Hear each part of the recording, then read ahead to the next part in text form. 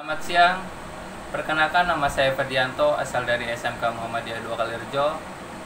Alhamdulillah saya sekarang sudah bekerja di hotel berbintang di Merkur Jakarta Cikini.